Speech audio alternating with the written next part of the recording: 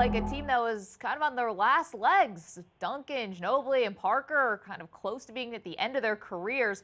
Will signing Aldridge extend the Spurs dynasty or maybe start a new dynasty?